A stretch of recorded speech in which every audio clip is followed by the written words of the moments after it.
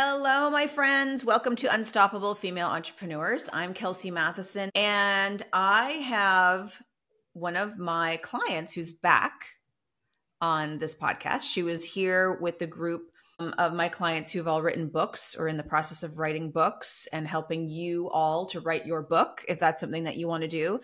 And now Gillian Wagner is back. This is going to be a very interesting episode. Essentially, she's back because she read my feet. I know you're all like, wait, what?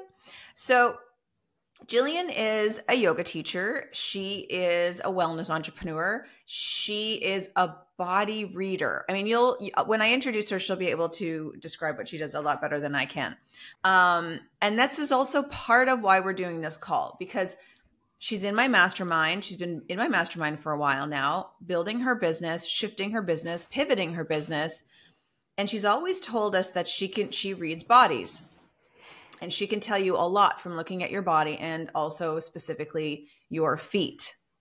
So finally i was like okay gillian i'm going to send you a photo of my feet. So if you're like sitting on the floor and you put your legs in like butterfly right your, the bottom of your feet are together the soles of your feet are together and you take a photo from above um, that's basically the photo that i sent to gillian and she sent me this voice memo back of all these amazing and crazy things that she could see just from looking at a photo of my feet. They're not even in person.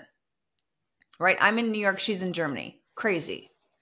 And so um so I thought, okay, you know, we have to we have to have a conversation about this on the podcast and we have to have a conversation not only about my reading, but what this means for your business moving forward.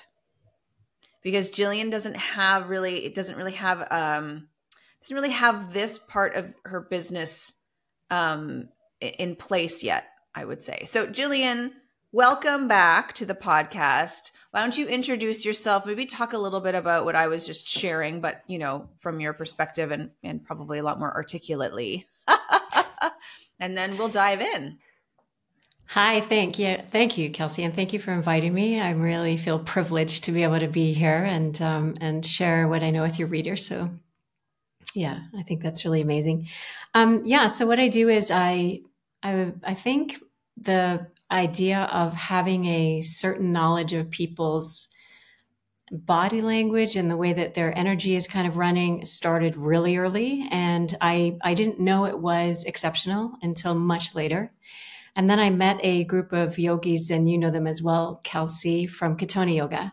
And they had kind of um, become a little bit more articulate with the feet, the direction of the body, and, and, and things like that. And so I combined what I would call as my intuition or that inner voice of what I feel from people with being able to read um, the map basically of people's bodies.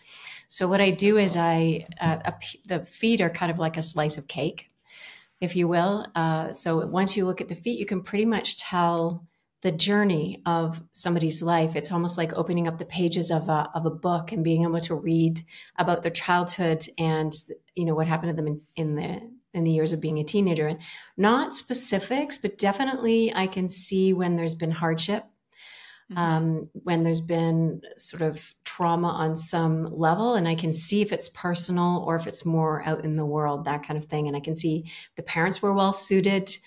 Um, I actually had somebody just ask me that one question. So I was like, okay, sit down, put yourself in Baddha Konasana, the, the butterflies you mentioned, and let's just have a look. She was so convinced that her parents were so unsuited and that they, they, you know, and that's why they were kind of grumbling in their old age. And I, and her feet were kind of jammed together, which is actually the sign of no, actually they're, they're super well suited. it was a good base for each for other. You mean well suited yeah, for each other? Yeah, for each other. Yeah. So that was a, it was a good, it was a good match as far as the universe is concerned for whatever purpose, right? That's the kind of stuff that i'm that i'm looking at. And usually then if i were to do it live i would have the benefit of being able to see the direction of the body. Sometimes i'll ask that uh, to people do you typically sit this way? That kind of thing if it's um, you know something relevant. So we could talk about that as well when we get through the through the reading and see some of the things that i saw there. There's there would be then a relatable body experience to that so that you could double check basically the markers or the map, if you will. Yeah. So that's kind wow. of what I do. The map of the body, right? That's crazy.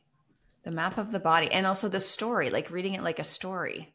Yeah, it's uh, uh, the word I like to use the, is the narrative. So it's basically, mm-hmm. it's not just what's happening to you; it's what you take from it because you can have two people, even twins, for example, who have the same experience and the way it affects them is completely different and it might send them on completely different trajectories, which is what makes people so interesting. I was saying yesterday because I was uh, I was invited out to dinner with the group who just went through the teacher training that I was um, that I was one of the uh, uh, teachers of. And um, I was saying I should have been a journalist maybe because I'm so curious about people's stories. So when we were doing these 10 minute uh, feedback sessions and I was sitting there and there was, you know, two or three minutes left. I was like, what do you do? Like, you know, I wanted to know what people do as well as, you know, learning, learning yoga and why, why did they want to do it? That kind of thing. I think that's always very interesting. So you're fascinated in people, um, which I think is what makes you such a great teacher. And so let's, I mean, let's dive into a, a little bit of what you saw just in that photo that I sent you. Okay, so I mean the big the biggest obvious thing that you were talking about as well were the arches of your feet. Um, Kelsey has They're really high, high, arches. Yeah, for your listeners.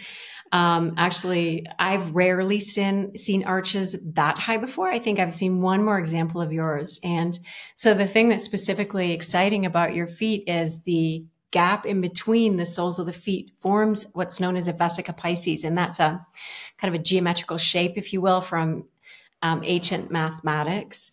And the vesicle, vesica piscis is basically a shape for creation. So when you take two circles and you cross them over, and you see this sometimes in coaching, um, learning and stuff like that where they've got kind of like the world you know um, your your story the world's story of what happened and then what actually happened is this little thing in the middle have you ever seen that they push two circles together anyway so it's that shape vesica piscis. it's also uh, the portal to life and then how we uh, basically read it in what I do is it's kind of like a transformative and creative portal.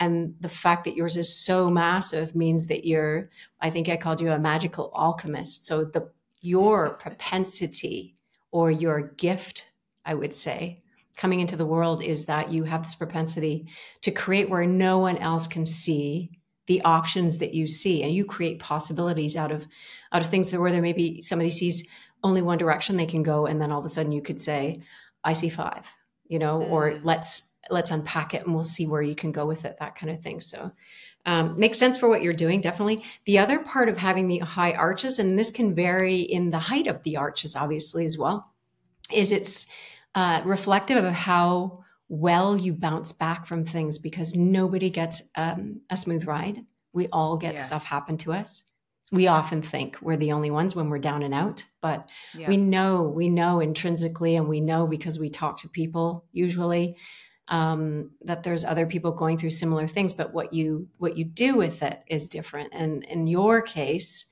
your ability to bounce back your shock absorbers are excellent um, mm-hmm. and so what that would mean to you is your your need for techniques for resilience in life is very low. So you have a natural inborn resilience. You don't need to learn that many techniques. You were you were born with them. You innately know what to do. Whereas somebody with flat feet would need to um, spend some time filling up their toolbox so that when things happen to them, that they've got techniques they can use in order to keep moving forward instead of getting stuck and feeling um, depressed, basically. Yeah. Right. So that was the first biggest thing. Um, yeah. And I think I gave you the quote from the Bhagavad Gita to kind of talk about this unbelievable, amazing shape to your feet, which is for me so exceptional. Um, because I have high arches too, but I do not have this clear cut vesica piscis. And for you, it's the shape of an eye, which is that thing I said where you you have you have um, amazing, outstanding vision. I guess is is what you would say. So the quote that that felt to me like it spoke to what was happening there is one whose intelligence has attained to unity. It's an interesting wording. Um, casts away from him both sin and virtue, right? So it's this ability, this balance, this um, wholeness to you, this strength and stability, which creates this magical alchemist, which is what you were really excited about. So exciting. Right? I yeah. love being called a magical alchemist. Are you kidding me? um, so we can get to that um, in a minute, but the other yeah. parts of the reading were the sides of the big toes. And um, right. if there's anybody out there listening who gets regular pedicures, this is a really stubborn, stubborn recurrence. And in fact, a lot of these kinds of dry patches are, and they just are indicative of how you live or how you have been living. And so these dry sides of the of the big toes uh, show this tendency to worry and think. So, worry, overthinking is the job of the stomach spleen in traditional Chinese medicine. So, people who, um, yeah, turn things over in their head a lot, um, give things a lot of thought, and spend a lot of time, yeah, putting, worrying about pe- their people. That is kind of who you are. And I didn't know this about you actually, so I thought that was very interesting. So, I mean, you're a very um, empathetic person, so it goes hand in hand. But somehow, I just never, mm-hmm. never thought about it. Um, the big, the big toe mound on you was a little bit flat, and um, so then yeah. the read on that is that the lungs need some work. And so there's two ways of looking at it. One is that you actually do need cardiorespiratory work, so get out into fresh air um, work your mm-hmm. lungs. And then the second read of that is is one of the voices in you diminished? So are you having trouble expressing yourself either emotionally or saying what you desire in the world or what you want from the world, mm-hmm. you know, coming out and, and sharing who you are in your authentic voice. And then we talked about, because I do know this about just uh, full disclosure to your listeners, I do know you have right shoulder pain, which was kind of like the, I think the catalyst that got us together, right? Yeah. Um, it's a trust issue as well when you lose your ability to speak. You have had experiences that have revealed to you that you cannot trust everybody, which is true. Mm-hmm. But then what it would also reveal is perhaps you haven't developed a what would what I would call a table of 8, so that close-knit group of people that you can use to really express yourself how you need to express yourself to feel heard and seen in the world. So that was that. Mm. Yeah, and then there were the heels uh, that we yeah. talked about, which was the um, spinning your wheels. I was like, is there something that you're not acting on? Is there something where you're holding back and you're kind of spinning your wheels, right? Mm-hmm. Yeah. Um, and then inside of the arches, there was some striping going on and some collapse in the back of the arch toward the pinky toe side, which was the mm-hmm. adrenals being overworked. And I see this a lot right now when people send me their feet. Yeah. And I just think this is the a tendency to overwork and not be able to recharge and not be able to say it's okay i'm just going to take a day off. Yeah. Um i'm gonna especially for us women. Yeah. yeah especially for entrepreneurs and especially people who work from home i think it's hard to separate and just go i'm, I'm going to put my phone away. I'm just yeah. not going to answer it until this time or this day or whatever. I think that's uh, seems to be quite challenging. And then there were other markings on your feet, which I'm not sure you want to go into here, but it's just it just reveals to me then at what point in time, sort of, right? Mm-hmm. Yeah. I usually have like a two year span things have happened to you. And what's interesting on Kelsey's feet is that there's some grass that has grown between where Not her really. lines I don't start. have mold on or grass on my actual. No, no, she doesn't really have grass. But it's interesting that a lot of people, when they have these lines on their feet that indicate these really strong responses to the things that have happened in their life, there's deep grooves, right? And Kelsey has really deep grooves, but there's a gap between the heel um, a, a, substantial gap, actually. Sorry, I speak German a lot of the time, so I'm some stumbling over some of my words here. But there's this, this substantial space between the actual edge of her heel and then where these deep grooves start, which which really indicates that it's she's been able to cover right a lot now. of ground. Sorry. You're looking at it oh. right now. It's so true. yeah, yeah, but it's so interesting, and and um, so what that's what that says to me is that you've been able to put a lot of um, you've done a lot of groundwork, I guess is the right way to say mm. it, to help yourself out with these really strong responses, these really um, challenging things, these traumas that have happened in your life. Yeah, mm-hmm. part of your story. Yeah. And that's pretty amazing. But it it points to those really awesome arches that you've got anyways, right? Your ability to to withstand so many things, a strong wind. Yeah. I love that. That's amazing. So so this is very I, I, love all of this. So like for example like you were saying like if somebody's somebody doesn't have super high high arches like i do and they have more flat feet that they would need more techniques for resilience or uh, they might need some support right in, in in dealing with hardship in their lives. Um and then you were also able to like you were able to pinpoint certain times in my life when there were certain traumas or certain things happened to me um so like and and then we can we can get into the kind of the magical alchemist thing and what that means for me but just kind of in general like when you are reading someone's feet and you ha- offer this, you know, what you see, like what are the benefits then? Like, I, I mean, I just mentioned one, right? Like, you need techniques for resilience, right? Like, that is a huge, you know, benefit. You need support. You need, you know, you need this, you need that. Um, what are some of the other benefits you would say? Like, when you can look at somebody's feet, what are some of the other benefits that then you can offer them in order for them to in, in, in, implement this or you know certain things into their life to make their lives better yeah i think that's a really good question i think that um, for me it's an opportunity to become unstuck so mm-hmm. if you've got somebody who uh, feels a little bit like why do i keep meeting the same people all the time or I don't seem to be able to move forward in this part of my life, or I don't know my destiny or my purpose, things like that. These are really good pieces of information then to kind of help you like, well, you, you're kind of designed to be a certain way. Mm-hmm. You know, mm-hmm. kind of like the body type that you have. You can fight it as, if you want to, but if you're an ectomorph or a mesomorph, I'm talking about just plain body types here. Um, you're kind of born that way. You're born with the color eyes that you have. You're born, you know, with the shape of mouth that you have and stuff. I mean, we have techniques uh, these days to change all of these things, but really, the question is, um, would it maybe be beneficial to then lean into who you are authentically? Because what that does is it aligns you for more joy.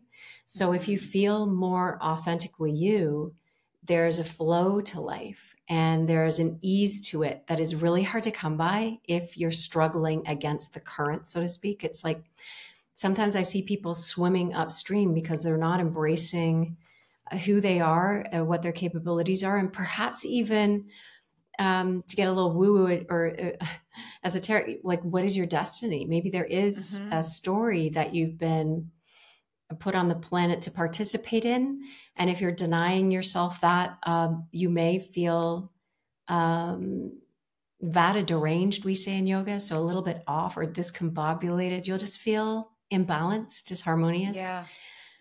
Yeah, and you see people walking around, uh, you know, a little bit bitter with life, that kind of thing. I'm, mm-hmm. I would love to prevent that, where people, they're mm-hmm. 80 years old and they go, "I should have, I wish I had of," you know and so i think if you can discover at some point some of the things some of the clues that life is sending you along the way i think that would be very helpful and then things like knowing that you're a warrior what that can right. um yeah what that can do for you is just kind of remind you of something you probably know about yourself remind you that you may be um, doing it a little bit too much that perhaps you don't need to do it quite so much and yeah. um, and like uh, the thing about the heels, right? You're spinning your wheels, that kind of thing. Yeah. Then that would be, you know, an answer to a question, perhaps. Do I need to move on this? Mm, yeah, maybe. If your heels are getting dry, you look like you're stuck. Yeah. It might be time to move forward on it, you know? Yeah. That kind of thing. Yeah. So I don't tell people what to do. I just offer the information and I often listen to the responses and often what happens is there's an intuitive side to it. There's that mm-hmm. um, and intuition for me is that either magnet that sort of magnetic pull out of you of something. I think dr brooke talked about this the other day in our session as well. She felt pulled to move and go to california. That's intuition. And the other one is is a push but it's always a very comfortable knowing there's no fear to it. So that that's an interesting description about um, intuition, which will help with our conversation about the magical alchemist as well. So yeah, I think yes. for me, it's kind of like that movie Groundhog Day. If if you feel a little bit like that, this is definitely uh, very helpful. And then the other thing is just to feel validated as to who you mm-hmm. are and to know that that little special combination of things that you have and those stories that you have experienced they they were real they happened they're in your body and it's part of your now it's part of your cellular network. Like it's in there. Yeah. You can't deny it you know? Yeah. I love this. I mean i do a lot of work um, with some of my clients um, like energy energy work. And it's a modality called SRI, so somatic respiratory integration, and it's so it's breath and um, you know and um, and the body and and, and integrating um, movement, breath, energy, body uh, work in order to release and heal and uncover and process trauma and I always say, like, we store trauma in our body. You know, yogis have been talking about this for a long time, and where we store certain things in our hips, or where we store certain things in our back, or our neck, or our throat, and then the chakras. Like, there's so many modalities that touch on. I think you know these these um, these aspects of of wellness. Um, but I think, like, in terms of what you were just saying about trauma and this narrative, like, it's it's in us it's there it's showing up in our in our bodies. And um, so i think that just allowing ourselves to um, i would say explore this a little bit more can be so helpful um, as we're working towards building our businesses and making ourselves better entrepreneurs and creating that kind of unstoppable life for ourselves um, yeah. So my journey through your uh, coaching has been really helpful for me.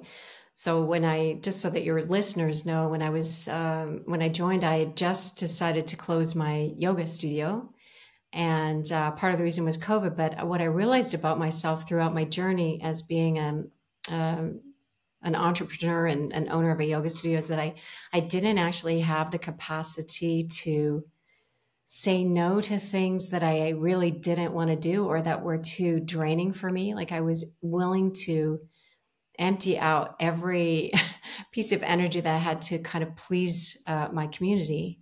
And I created a community, which was great. I needed that here, but, uh, and it was successful. But, you know, it was almost like COVID was this door out. I hope nobody's listening to my, my community, but it just kind of felt uh, like an invitation to me to, and, and I know that um, my, I had an assistant working for me at the time and she was like, you need to take what you do out into the world. And so once I discovered this online world, I, was, world, mm-hmm. I, I mm. thought, oh gosh, yeah, this is a really great venue for me almost.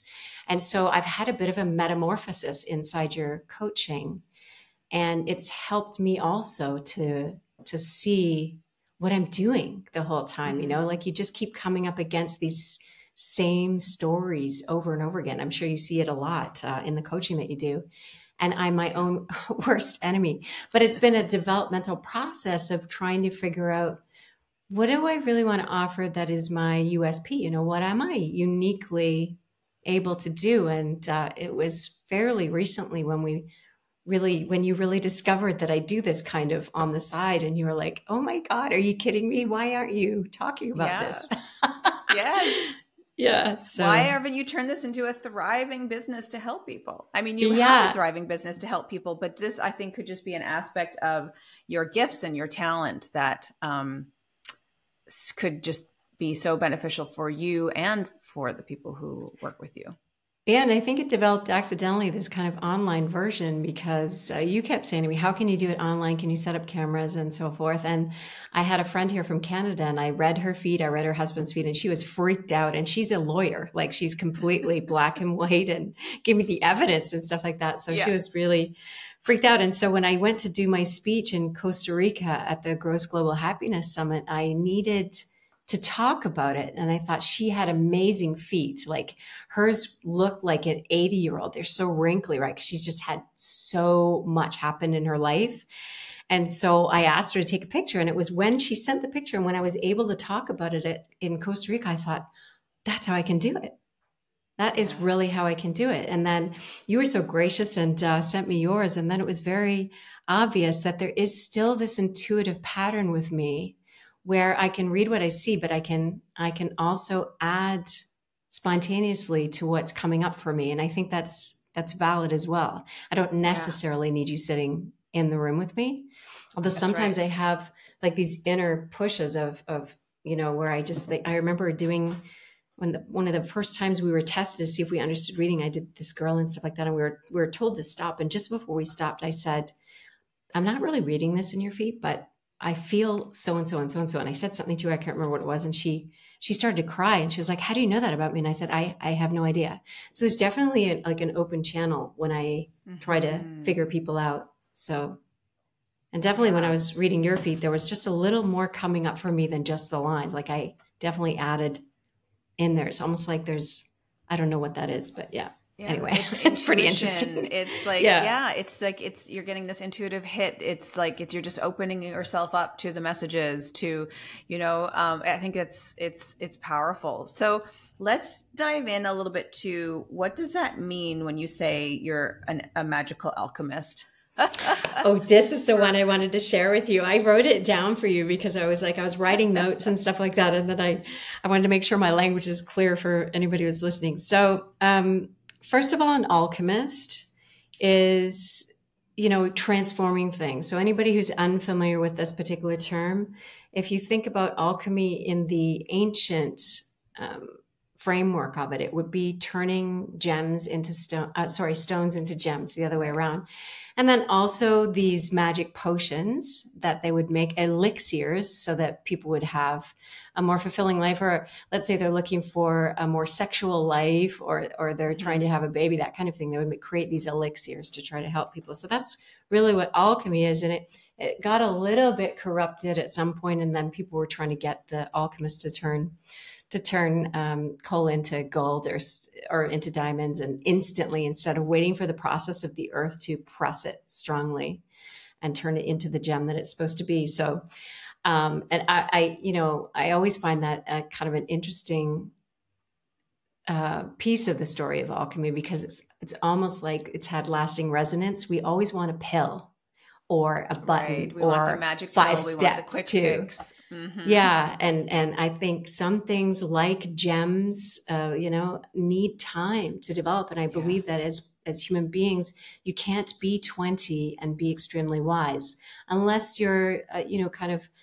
Uh, a genius of some kind that's that shows up every once in a while, like uh, Mozart or something, you know, at three playing concertos. I, I think that happens probably once in a blue moon, but I think most of us go through the process of living in order to get to where we're supposed to be. It's a mm-hmm. it's a journey and you have to be patient and you have to be able to read the signals and understand where you're meant to go next, you know, and that's where I think the things that we do in wellness really really help out. So um so in specifically for um, um a magical alchemist, so the intuition is the greatest strength of an alchemist and then the it's the most enviable trait is this razor sharp instinct that you have so that's definitely mm. um, who you are and there's something to remember what what often makes alchemists stumble is often the inner voice clashes with common sense or logic so right. there's this yeah these clash of two worlds and we live in a very sort of left brained world where we want we want science to show us a study before we'll try something out that kind of thing. So um, having this flowing intuition can be a bit daunting and it requires trust and practice i think to call it to the surface yeah. and follow it. Yeah. And then so specifically for you um, because of the way your your arts are shaped i think that altering and transforming things for you is really what you can do. So it's it's transformation, liberation, and change would be the three words I would use to describe your gifts. And um, I think that you are able to see things that other people can't see. So that's that vision. And this is this is the real magic for you. This is specifically then your magic because of the shape of the the arch which is so incredible for me. That this yeah the inner vision is so strong. It's so razor sharp that you can probably uh, it would feel like magic to people around you what you can create out of nothing basically mm-hmm. or where mm-hmm. they see nothing. And the other thing is you can take two opposites and transform that into something harmonious which is also, yeah, that speaks well for That's what you have landed in as a business. Yeah. Being able to take that struggle for people away. Um, yeah, so that is your magical alchemy. That's really, and I think this is just a basic mantra, but I trust my intuition and follow its wisdom would be something you could use if you feel a little bit daunted by it, by the power yeah. of it. And, and then just, um, you know, I, I think you're a well seasoned intuitive person, but just reminding yeah. yourself that it, if there's fear involved, that's your mind. Yeah. Anything like, oh, I, I shouldn't fly today because I wonder why I feel scared to fly. Well, that's just you being scared to fly. You're a mom. So, you know, that's your, that's got nothing to yeah. do with your intuition, right? Your intuition is that knowing, grounding, solid feeling of this is how it is. That's how it mm-hmm. lands, intuition, and the pulling yeah. or the pushing, which you probably um, know about. Yeah. So I think the infinite possibilities, the potentiator, the creator, creating something completely new is your is your specialty, I guess. Yeah. Yeah. The this magic. is interesting it's really yeah. it's interesting because I think like I've always known that I have a strong intuition and I trust my gut. That's I trust good. my gut instinct. A lot of people ask me even like, you know, how did you know to open Anamaya or how did you know to, you know, to open your backpack company? It was like pure instinct. I just knew in my gut. I just knew. Even like going to Costa Rica for the first time with a friend and then knowing like one day I'm going to have a house here. I didn't, you know, I didn't even know I was going to have a house and a business or, you know, all the things, a couple businesses. I had a yoga clothing company there as well. But I just knew I'm going to have a house here. And at the time, I didn't have the money. I didn't speak the language. I didn't even live in the country. But yeah. I just knew. And then, you know, 20 years later, not only do I have, you know, a house, but we have pro- other pieces of property. I have a business. I have, you know, ran another business, um, you know, very, very uh, involved in that area of Costa Rica now for for 15 years. It was just it was just gut mm. gut instinct. It didn't make any sense. You know, you're saying like sometimes that right the um the the inner voice can clash with common sense. Um yeah. starting investing in and and starting a business in Costa Rica made absolutely no sense. I'm sure. Yeah, yeah. Yeah, yeah, probably also maybe the the logic of moving to New York from Canada was made sense on some fronts, but it probably didn't make sense to everybody on all oh, fronts, oh, no. right? It's like no, before absolutely. you do that, fly back and forth, because you know. Yeah, so no, people yeah. were like, "What are you kidding me? Are you crazy?" We had a very comfortable life and a beautiful home in one of the most desirable neighborhoods in Toronto, and we were going to sell it and move our family to New York with yeah. no with no work, like with no promised work. I mean, I can work from anywhere with my coaching practice and I, I can work from anywhere, but um, my husband didn't have any promised work. Right. We yeah, have other amazing. friends who moved from from Toronto to New York, but um, there was promised work. You know, she had a show.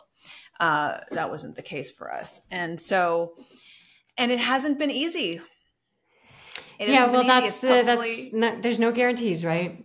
Yeah. So sometimes when you follow your intuition, you think, oh, that was the wrong decision, but really, no, no, it wasn't the wrong decision. You're supposed to learn while you're here. It's yeah. actually not meant to be smooth sailing. I mean, it's great when it does feel like smooth sailing. Um, and it does happen occasionally, thankfully. I think otherwise, I think we'd all give up. But um, yeah, but I think we need to embrace this idea of you know having discomfort does not necessarily mean it was a bad choice. It just means it's just part of the story that you're living. It's part of the journey, right? And then that's where some of those techniques really help with like what is your what is your relationship to something if it makes you feel uncomfortable? You know, maybe it's got nothing mm-hmm. to do mm-hmm. with you know, like a relationship of being uncomfortable without an income, I don't know what that means to the universe. I'm sure if you're looking at, um, I, my husband was just, this is a little bit off topic, but my husband was just reading a book where they were talking about the existence of man, of humans. And um, if you t- take it like a year, 365 days, we're kind of like the, when man appeared, when the Neanderthal human being appeared, yeah. it was kind of like 5 to 12 on December the 31st in the year. That's how. Year that's how short our existence has been when you take that just our planet's life you know so if yes. you think about I don't know, a few years' time not having an income, I'm not sure in the grand scheme of things if that feels relevant to whatever's, you know, helping us along on the journey here, the universe, yes. whatever you want to call it. So, yeah, yeah I think that's probably picture. the misunderstanding that we have and that we're a little, we're all, um, not not pointing at all towards your feelings. I have um, I know that it's oh it was a struggle and it's valid and all that, but um, yeah, I think possibly the way human beings look at time may be it that's the relationship that makes us suffer you know mm-hmm. yeah, yeah yeah yeah or one what, of them know, like what what our what our thoughts are about what it is that we're going through and what our thoughts are about our expectations with time what our thoughts are about you know uh, you know what we estimate how long we estimate things will take and our relationship to that um mm-hmm.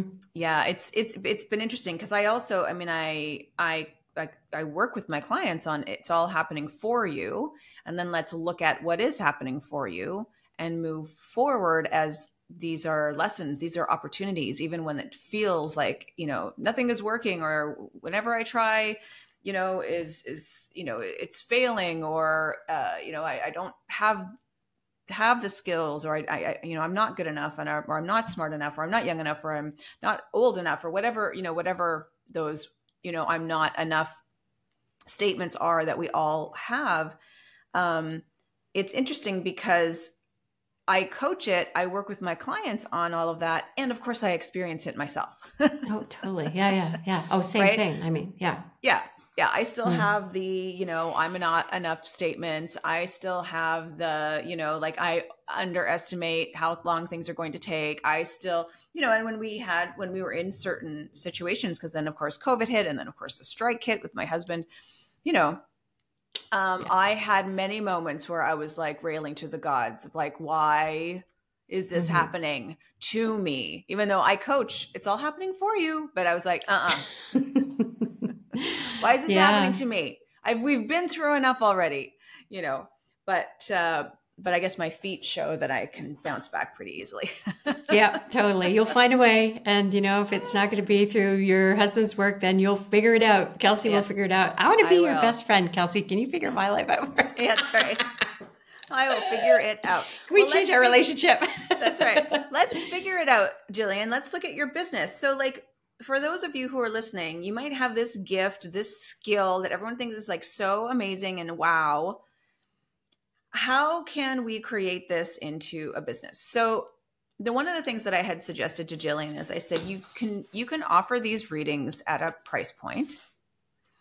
And then based on which is kind of, you know, like I she did she sent I, I sent her a photo, she did a reading. And then based on what she found, I wanted to know more. I still want to know more. There's still all these things. yeah, you still have to ask questions.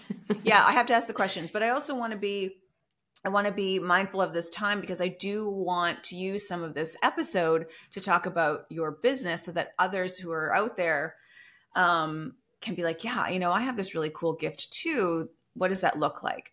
So the way that this all rolled out was I sent a Gillian a photo. She read my feed. I wanted to learn more. Excuse me. I wanted to learn more. So my thought initially was that Gillian could offer these readings at a certain price.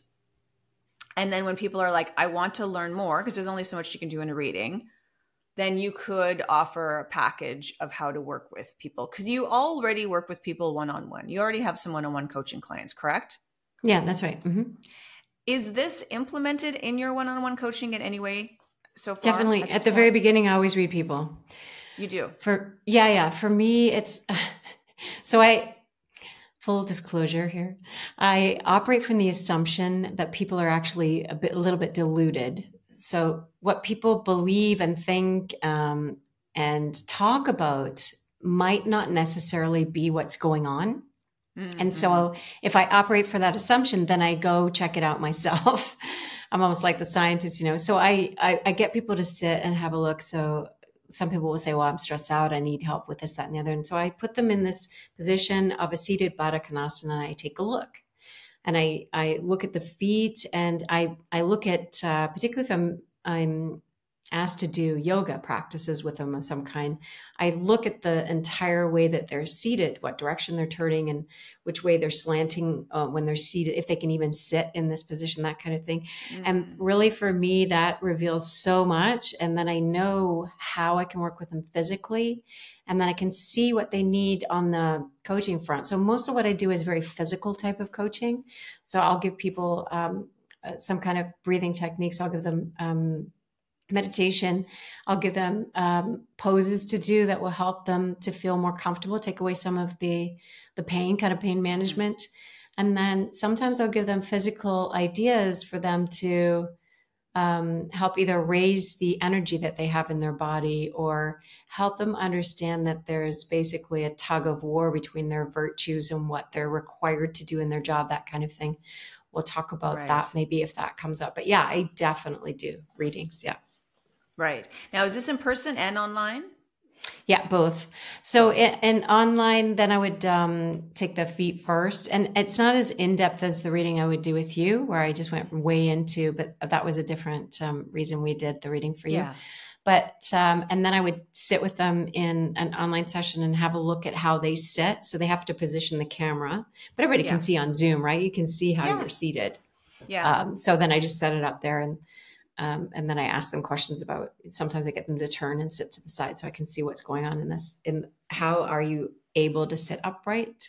And I ask yeah. them how it feels. Is it a struggle or not? Whereas in person, I can see that, right? Yeah. So yeah. So I just have to ask more questions online. That's all. Yeah. Right. So, because that's one thing that we didn't do is you didn't you didn't take a look at how I I sit or anything like that. We haven't done that. But yeah. um, so how are you promoting that this is um, a part of what you do? I do not promote it at all. I, I, talked about it for the first time uh, at the Gross Global Happiness Summit, and I was inundated with people going, "Oh my god, oh my god, can you read me?" Including these these sort of profs, you know, that put these things together, who yes. I didn't think would be interested at all. It, it completely took me by surprise that people yes. who are academics would be interested in in what I do. It just seems to me like they would have everything together and know everything about themselves, particularly if they're like already 70 years old and, you know, a, a best-selling author kind of thing. So it was very, very interesting and revealing to me. And I think I talked to you about that. Yeah. Yeah.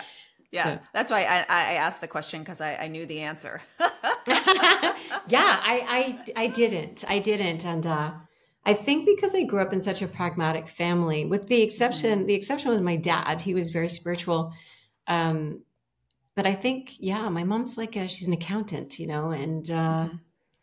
so I, I don't know why. While I was, I moved around. I think we talked about that too. So I moved around a lot, and so I was always made fun of, and I didn't want to be made fun of. I think that's just an old yeah. story churning away in there, and so I just didn't want to feel that discomfort of people laughing at me because they thought it was too silly what I was offering, and it was you right. and the people at um, at the conference that really revealed to me how interested people are in, in this. Yeah. Yeah.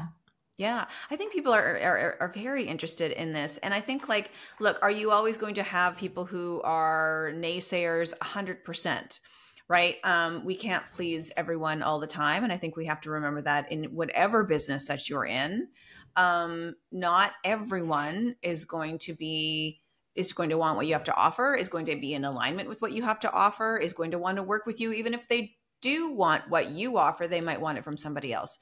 That is that's just the name of the game. That's being an entrepreneur. But I do think it, it's so. I, I love that you're bringing this up because I think it's so important, especially for everyone listening, to recognize the narratives, the stories that we're telling ourselves about, you know, what it is that we offer and the assumptions that we're making. You made an assumption that certain people with a certain education or a certain background would think that this was silly to use your word, right? Or would mm-hmm. even go beyond thinking it was silly, make fun of you, right? And so how you've turned that assumption back on yourself, you've held it you've held it against yourself so you've stopped that potential growth or the the, the growth of your of your business in that in that area, right? Yeah, so, for 10 years basically. Because when I opened my studio, yeah. I was reading people's bodies and they were just like, can't believe you do this. You never talk about it. It's like, yeah, right. so, so here's the other thing too: is if you already include this in what you offer, do you feel like um, you could talk a lot more about it in terms of like you know for example when you're speaking gigs over social you know however you meet people networking do you feel like there's a way to talk to people about it or promote it so that it just is going to directly lead people to your one-on-one coaching program or do you feel you need something you know like what you did with me and what you're doing like because you showed people at that uh, the conference in costa rica where you spoke you showed them how you read your friend's feet right? For people to be like, "Oh my gosh, what the that what the heck this is crazy." And so even if they're not quite ready for one-on-one, but they might want to do a one-off session is I mean, and and there is no right or wrong answer. This is about you and tapping into your intuition. If you think that that would help to grow your business to a certain point, um, to get more one-on-ones in through the door, or would you rather just focus only on the one-on-one packaging or wait you know here let me go back a minute when people work with you one-on-one is it a number of sessions or do you do one-off calls for one-on-one? Um, i have done just body readings. Like i did those in my studio where i would just yeah just do a reading so that people could basically get a confirmation of where they are and what's happening for them. Yeah um, i've done that. Yeah. And I think yeah. that's valid. I think people can just find out. I think that's good information for them, actually. Right. Yeah. And then if they want to work with you on one on one in terms of like a longer term, then do you offer certain packages? Uh, yeah, I have like a 10 pack, but I've been asked recently if I could do like a three or for people who are, have limited income, that kind of thing. Like I do have a, an hourly rate that I charge for my um, personal trainings. So, um, and some people just, just say, I just want to work with you, like without a, a dot at the end. Um, yeah. So, yeah, so yeah. I have that. So some people just buy a package of 10 and yeah. some people just go, just let's just make a permanent date. And then when I, you know, if I get to the stage where I don't want to do it anymore, then, then we'll stop. And so yeah. sometimes I've then had people for, yeah, have people for five years. Sometimes I get people for 10 pack, package of 10 and then I've done also uh, like body readings, just one off, and then just they've off. come back two years later and said, "I'm ready for another one," kind of a thing. Yeah. yeah, right. Oh, that's interesting. I mean, like even with my like I don't offer one-off sessions anymore. So if people want to work with me, they can work with me in the mastermind. Um, I'm going to be um, adapting my 10K group program and turning it into an evergreen. So it's just going to be like probably a two thousand dollar package for this uh, training on really how to create uh, a lead magnet and a funnel that will generate, you know, 10K in your business. And then they just sign up to it and it's, you know, evergreen. They have lifetime access to it at 2000. That is not ready yet, my folks, but it will be coming out, my friends. Um, and then obviously the one-on-one coaching with me if i have availability because i'm still running Anamaya and i still have you know all these other things that are going on in my life i have very limited time for uh, or not i have limited time so that means i'm limited in terms of how many one-on-one coaching clients i can sign up. Um, so uh, but i did offer one-on-ones for for quite a while right? Mm-hmm. and then i just yeah i took advantage of that at the beginning. Yeah yeah. Yeah yeah exactly. To build so, it build it up right? Yeah. Mm-hmm. yeah yeah and so now i don't. But um, same could be for you and your business model is you could start to offer these one-on-one sessions or at least i mean you it sounds like you already do. You're just not promoting it. You're just not putting it out there. People don't know. So yeah, that's kind of, of word of mouth. why. yeah. Yeah, right. And so one of the things that you could be doing is talking to your current clients and saying like if you know anyone who you know you would feel would love a body reading um, working with me who was feeling stuck in their life um, who was maybe kind of like coming up against the same hurdles um, you know and then you could have maybe a referral program that maybe they get an additional free session or a discount on a session or something like that.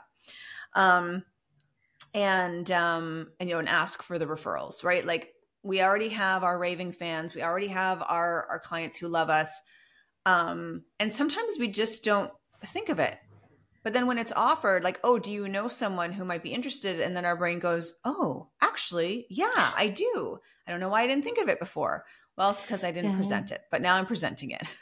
yeah, yeah, yeah. Yeah, people always assume too that you're like uh, you you have a full roster of people. People have always said, yeah. "Oh, you must have so many clients and stuff like that." I do and I don't. I mean, it comes and it goes, right? And uh, yeah, uh, yeah, it's been a big transition for me. So yeah, yeah, and yeah. I think actually, you know, like promoting you're promoting these sessions online, telling people that this is what you do, sharing your story about Costa Rica. Like when you shared this in Costa Rica, you couldn't believe um, the response that you got. Sharing that on on social or other podcasts, like you're doing right now, like sharing that story, I think is super super important. Um, and you know talking about like i can read your body i can read your feet and i can tell you x y and z and just continuing to put that out there so people know and then they'll come and then they'll have this amazing experience and then it will lead to more people who want packages or maybe you know maybe people who only want a one off for now but then they come back for another reading or you know you host a retreat in Italy and they're like oh I want to you know I want to join you know Gillian's retreat or whatever that is right? So you're um but I do think you know we've talked a little bit about this in the mastermind but I do think that really talking about this and telling people what it is that you do, how you help people, and how you you know and you know who you are, how you help uh, what what uh, what you offer, and how you help people is so so important. And this is a part of how you help people. Mm-hmm. Yeah, it's true. Yeah. It's yeah, I suppose it, for me, it's the clarity. I mean, it was funny that you said at the very beginning, can you tell people about what you do? You'll probably articulate it better. And I think I struggle with that actually. Mm-hmm. Like I mm. couldn't give, um, you know, an elevator pitch and tell people really quickly what it is that I do. You know, I unstick people. Um. yeah. Well, or right? I mean, yeah. you help people. So you told me like you align people with more joy. Um, you know, people who. So here's the thing: I help people who are feeling stuck in their life, who feel like they're swimming upstream, right? And and eh, like those are the those are some of the notes that I wrote down, right? So you align people to their joy. And then you said that um, you know people who no longer want to feel stuck or people who are feeling like they're swimming upstream. So just within that you could say i work with people who are feeling stuck in their lives who are feeling like they're constantly swimming upstream. I know so many people who would raise their hand and go yes that's me. Yeah. 99.9% of us would raise our hands um, because in some way, shape, or form, in some areas of our lives, we're feeling stuck. In some way, shape, or form, in some areas of our lives, we feel like we're swimming upstream. Not necessarily in all areas, but definitely in some. Yeah. So I think that's very relatable. That's who you help. And you help them to figure out, like, I'm just looking at my notes here, right?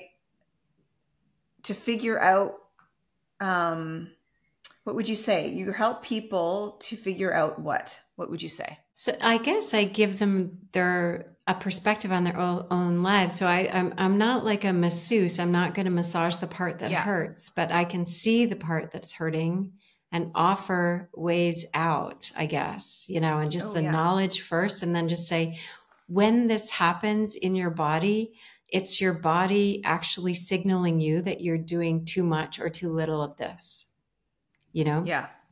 So I, I, I try to teach people how to read themselves so that they don't grind away too long um, doing the wrong thing. So it's almost like you can imagine, let's say if you grew up brushing your teeth in an incorrect way, and then the first time you went to the dentist, you were already 10 and you had like six cavities if somebody had intervened when you were five or six, you would have been able to prevent that damage. And so that's kind of where I how I see myself is like if I could do if I can intervene and help you stop um, re always sort of um, repeating the patterns that are kind of like you're undoing then I feel that's a really great help. That'll help you to steer your boat in a, di- a different direction, if you will. Yep. Yeah.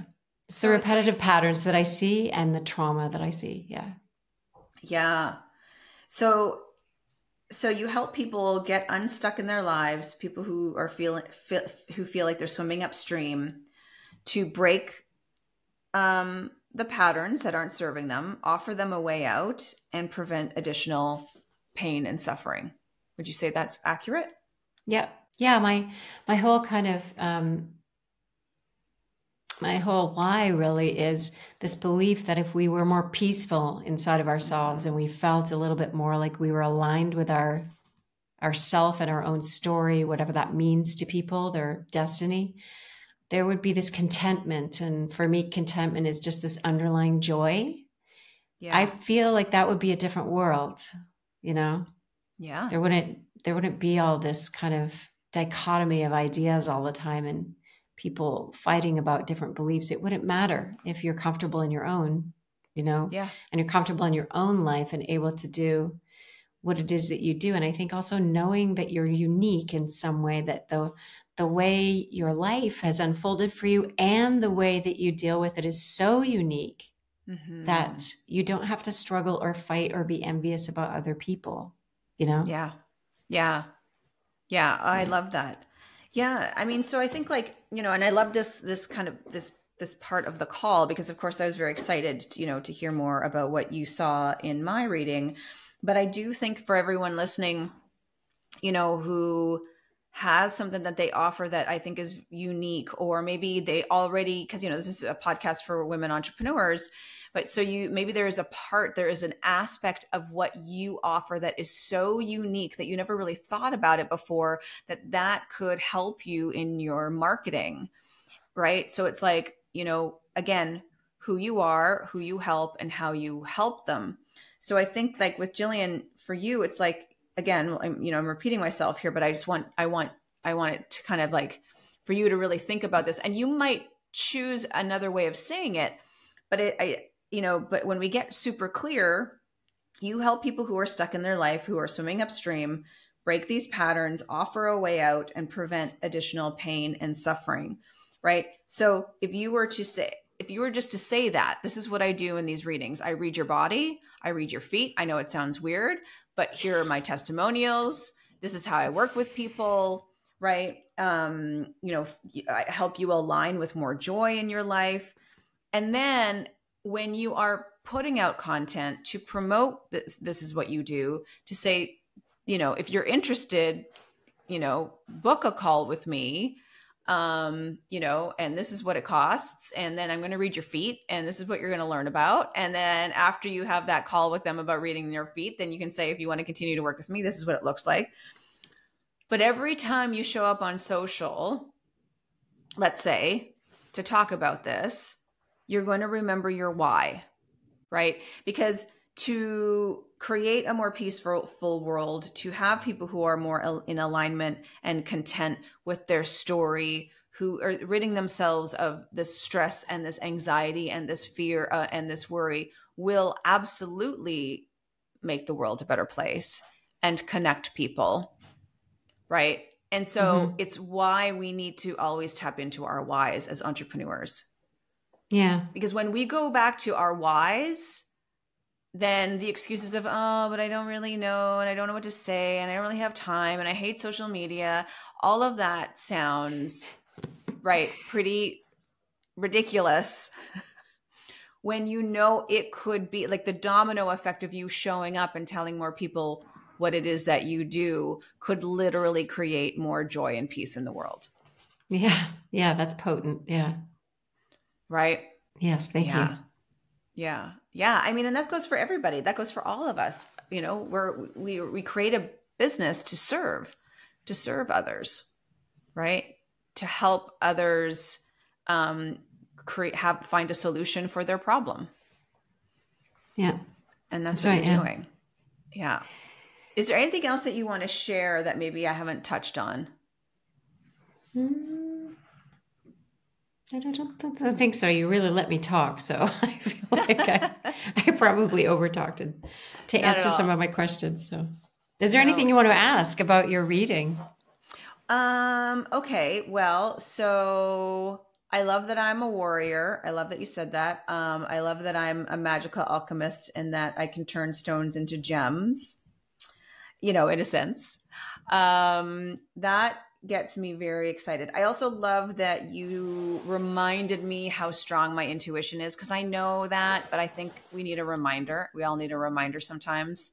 Yeah. Um, and I think that it's part of the reason why I need the reminder is because it does definitely clash with common sense. Yeah. yeah. Yeah. Many times, even though we've done so many things that don't make any sense from other yeah but sometimes we need a reminder yeah it's when we get stuck in that churn of uh, you know those beliefs uh, that always come up we always yeah. have to turn those dials. Like those are not going to disappear. That's part of being human. Um, i think that um, i think that's really exciting that when you have uh, this churning going on, what you can do is put a, a, vision board up, or you can put reminders somewhere that you you always walk past for me, it'd mm. probably be the kitchen. I spend so much time cooking for my 17 year old son right now, right? And then just remind yourself, remind yourself of the synchronicities, remind yourself of the things you're capable of.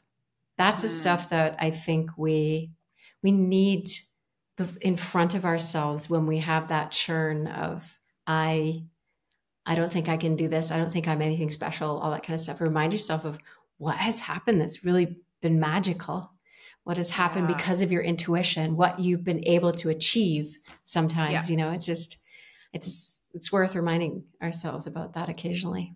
I think it's super powerful. Um, and then the other thing, you know, that you, what really stuck out is like, there's an area where you're like something, there's an area where I feel like I'm spinning my wheels. Yeah. And I'm like, hmm, what is that? I don't, I'm, um, it feels like it resonates with me in so many different ways but i think yeah but i'm not sure what exactly it is. So here's another question then kelsey. Yeah. When you sit okay so you're seated now and okay this is maybe a different uh, experience because you're you're attentive and you've got a job to do right now but when you're sitting yes. at a table how do you sit? Do you sit on the edge of your seat forward? Do you sit back and sit a little bit more on your tailbone direction? Do you do you know how you habitually sit a bit more? I guess it depends. Um, yeah, I guess it depends because I'm thinking of like how do I sit at the dinner table or how do I sit on the couch or how do I sit? I mean, um, when you were sitting I, in Baddha to take your feet picture, did you yep. find it was easy and you were able to hold your chest up out in front of you? Yeah. Or did that feel like work? No, no, that doesn't that doesn't feel okay. like work. But I'm always try. I'm always, if any, if if I can, I'm always trying to cross my feet. Even in my desk here, like in this chair, like you'll see yeah. me kind of do that. I like right now. I'm I just sitting, you know, cross-legged, and then I and then also then I get this, you know, the posture comes up. Yeah. Um, well, the other read of that I, love, sitting cross-legged. However, I also have noticed though, and I don't know if this is about sitting, I'm noticing, and I think it's probably because of the computer and our phones and also my age. I'll be 50 this year, but I'm noticing like if I'm walking, I'm noticing, and I've always had really amazing posture. I'm realizing yeah. that my shoulders are starting to come forward and I'm like, ooh, ooh, and I'll just, I'll just do a little, yeah. you know, yeah. roll of my shoulders because I'm noticing my posture. And even my husband goes, I'm noticing your posture because you always have such great posture. So mm-hmm. I don't know mm-hmm. if that's related. Could be like that's kind of like the weight of the world, right? That's what the Chinese mm. say is that old people start to turn in like that's because their past is getting heavier than their potential. Right. So the way that you remind the universe that you still got lots in you is to is to straighten out. I have that too, yeah. where I now it's more work to do that because your past starts to become really heavy, right? Or your yeah. experiences start to become really heavy. So sometimes we have to clear those out. Like the sea of forgiveness at the back of the heart would be a place, right? What are the things that you, first and foremost, are not forgiving yourself for? We're really mm-hmm. hard on ourselves. Like, what is it that you're uh, unable to clear out of there that you're uh, something that you, yeah, you're a little bit rigid with yourself on? You don't, you're not a rigid person, but I think um, we all have things that we're just, yeah, there's yeah. some discomfort uh, uh, about it. We have to let that go, and um, and then there's things where other people have been involved, and every time you know when it's clear because when you think about it, you no longer have a flush of emotion about it, and you know when it's still swimming around in your sea of forgiveness because when you think about a particular situation or something somebody did. Um, yeah. You have a flush of emotion, and it makes you feel very uncomfortable. So those are things that are still hanging around. So that that would be something that would relieve some of the pressure um, but if you're able to sit upright and cross your legs and you've got a nice lordotic curve, in mm-hmm, your back you. when you sit, yeah. then it could just be because the second reading of it, remember I said to you was it's like a strong thumb. So there's a yeah. bit of stubbornness in there. Yeah. Okay. yeah. And then, so then if it gets too dry and cracked, then it's a little bit too stubborn, but it's not too stubborn, right? There's not a mm-hmm. lot. It's just a little bit. Um, and then it's also the work that shows up there too. And so again, it's the degree of it. So if you're working a lot without taking pauses, then you've got these dry feet. If you yeah. really are, if your body is screaming, I need a rest so that the, my kidneys can rejuvenate, you have cracks in your heels. So, but it didn't right. look like you had cracks in your heels. They're just dry. They're just dry. Which is, yeah. So we get dry when we, when we work a lot. We literally lose moisture. Right. So yeah. it's just kind of like taking those pauses. And then the stubbornness, right? Why is it showing up in the heels? Well, because you got a bit of a stubborn streak. So um, maybe yes, that's, yeah, the tenacity, right? The tenacity yeah. of like, okay, I'm going to get this done or I'm going to push through this no matter what yeah. kind of thing. I, what it's it's seeming I've ha- been having these conversations with my husband right uh, recently too, and he was like, "You're back." He sees me back at a stage where the amount of work I'm putting in isn't necessarily being reflected in you know just in terms of even just monetarily or abundance and other other you know forms mm. of what i'm receiving. I'm putting way more out than what i'm receiving in. And that's happened throughout my my life. He goes there's there's less flow of that give and and and take. And mm, you know mm-hmm. and we were talking a little bit about it in monetary monetary terms. And he was like you should be making x y and z at this point in your career. He's like in my opinion just because i see what you're putting out into the world and i see all of the the you know the good that you're doing and these you know these people that you're helping he's like there's you know there should be no reason why you're making less than you know x y and z. And so when you said spinning my wheels i thought oh maybe yeah, it has, has something to do with that. That relates yeah i was just going to say that spinning the wheels was probably the right term for that then. You're just kind of busying yourself. Yeah. And the movement forward is not happening. So that's maybe in this that's case right. financial um yeah, yeah. And, and, it's so interesting because I'm actually lately I've been thinking about I'm going to take Fridays off yeah, exactly. You mentioned that. Yeah. Yeah. It's the go with the flow that shows up in the heels, right? It's that lack of being able to kind of let go and just kind of float in the water, so to speak, float with the mm-hmm. current instead of digging your heels in. Yeah. Yeah.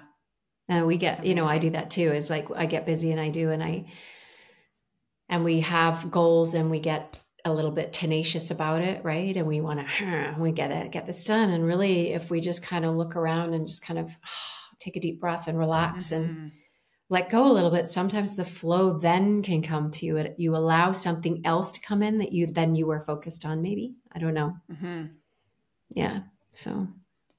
Yeah, yeah, and it's interesting too because um, my my medit i think I, I mentioned this to you my my workout regime my meditation practice like that has definitely been i'm still doing it but it's definitely been put on the back burner. Um, i'm not making it as much of a priority as i normally do. There's just more hours. Mm-hmm. i mean my husband's been gone for five months too so there's that. Yeah it's right? I, i've yeah. been holding down the fort here. Oh my gosh i just had that for a week. My husband was away and i was just like i thought of you I know Five it months. seems so silly. Yeah, it's so it's just even if they you know they're gone most of the day and you have to do quite a bit of the the tasking at home by yourself there's still relief at some point in a 24 right. hour period right and that's missing so yeah that's definitely for sure part of what's going on for you but also um, i have to go out to the grander scheme here and especially because you're an alchemist um, if that is your magic, then you have to be willing to lift yourself up to to a height that that you could see the big picture. So yeah, and grinding away and getting stuck and very focused is great for pushing through little holes. But if you're really looking for big resonance and your your flowy vibe in life, you have to kind of be able to go up and and take a really good look at it. And um, what was I just going to say? Um, I lost it. There was something coming in that I was just trying to trying to get out there. But I think it's more. I think what I'm feeling when we're talking about this is more the yeah, the ability to get out of your own way to allow Yeah. for the flow of what's coming through to really get to you. Yeah. I think that's what I feel like. Something like that I need that's coming through. Yeah. Yeah. Yeah. I think I have a similar thing, but um, no, it's Yeah. yeah. You're obviously ready for something, and you may not be opening that window to let it in. I Mhm. don't know. Yeah. Yeah. And it, it's interesting because I've, again, we were talking about intuition. I've felt that recently. Ah, like I felt like okay. there's, gonna, there's a shift happening. And I don't know exactly what that looks like. Um, but I feel like, yeah, there's a, there's a shift happening. And so, and I think, um, I can, i can notice some old behaviors Mhm. of, of mine that I think are trying to hold me back. Right. But I also know me. And so then I, but I want to move forward. And that could also just end up perpetuating this spinning of my wheels, so to speak, because, um, you know, I'm, it's a little bit of like behavior that's holding me back, but with the, like the, the motivation and like, well, I have to do, I have to do this. I have to, you know, Mhm. um, I have to effort. And so, yeah, they call it that perseverance loop, right? In um, psychology, it's Yeah. that sort of we persevere on something that we know works. Yeah. Um, and sometimes, sometimes we need to step out of it, and and especially so the big picture for me that keeps coming in all the time is um, we have no idea actually what this is all about. So really, all we can do is trust that our being here for this blip on this 365 day scale, you know, five to 12, if Neanderthal humans showed up at five to 12, and how, what Yeah. is it? So I think that for me, our ability to feel emotions and feel joy and love and stuff, that is so super important. We have to make sure that we get a, a huge dose of that. And we can't lose Mhm. sight of that, even when we're in business, I think, you know? yeah. Yeah. And maybe even that reminder, just going back to the basic Dalai Lama, like loving kindness, use it uh, with yourself, use it with your community, use it, and then just listen. Like have your ears on too, right? You're the magic alchemist. You're going to hear something, you're going to see something. Be Yeah. on the lookout, be vigilant for those signals. What is it? What am I missing? You know, Yeah. turn your angles, look at something different, and see there's definitely something vibrating around you, and you just have to notice it. Yeah. Exactly. Yeah. Very So esoteric there, but Powerful, Gillian. Gillian, how can every how can everyone find you? Because after this goes live, everyone's going to want to call you and send you photos of their feet. oh yeah. I mean, they can just go to my website and um, um, and and have a look at what I do, gillianwagner.com. And they could also just send me a direct email, hello at gillianwagner.com. That'll land as well, or contact me over Instagram, Gillian Wag- Wagner 65, and um, message me there. yeah, we can just pick up and see um, uh, what it is that they're looking for if they want a reading or if they're looking for something different.